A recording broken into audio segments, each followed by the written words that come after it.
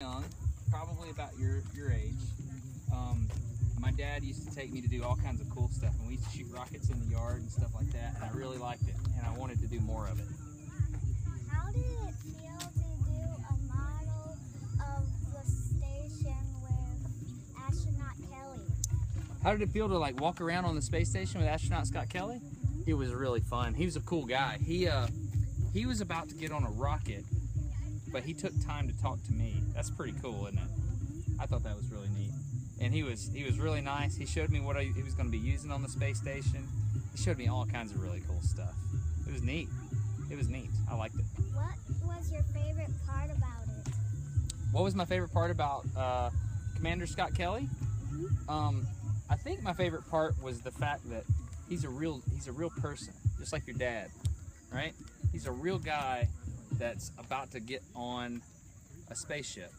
And before, I kind of always thought about it like some kind of you know place that people go. The space station is kind of just up far and away, but he made it real to me. Does that make sense? Because he's a real person, and I knew his name. He knew my name. That's what made it real, Michaela. Does that make sense? Yeah. How did you come up with the design of the bike? How did I come up with the design of the bike? Um, so the bike is something that a friend of mine named Barney, he's a welder. You said you like to build things, right, Jordan? Do you know what a welder is? Yes. Welder is somebody that puts pieces of metal together, like that's a weld right there. And Barney was a welder, and he called me over to his weld shop and he said, try to ride this fancy bicycle I made. He made one similar to this. And he played a trick on me, Jordan. I couldn't ride his bike. But I went home, made another one with him, and uh, I spent a lot of time and figured out how to figured out how to ride it. Pretty cool, huh? Yeah? Yeah? Was it fun going to Tasmania to uh, see the Tasmanian devils? Yes, Tasmania is a really cool place.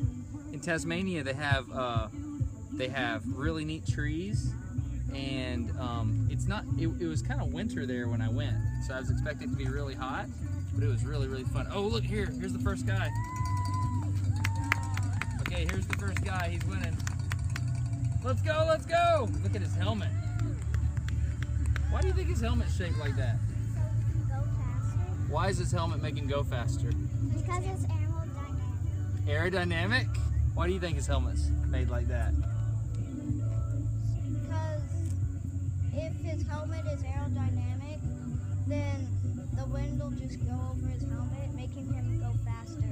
Dad, Mom, you got some smart kids here. What do you got? That's very good. All right, what else do you guys do? Uh, science experiments. You do science experiments? What kind of science experiments? Um, I've done blowing up a balloon without using your mouth. How do you do that? I don't know how to do that. You put the baking soda in the balloon, and then you put the vinegar in a bottle, and then you tip it over and it'll blow up. No way. Does it use air to blow it up? What does it make?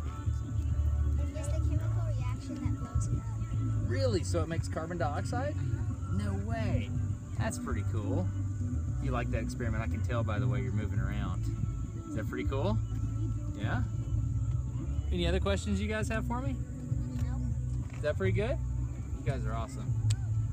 You guys are really good. Thank you for your time. Thank you.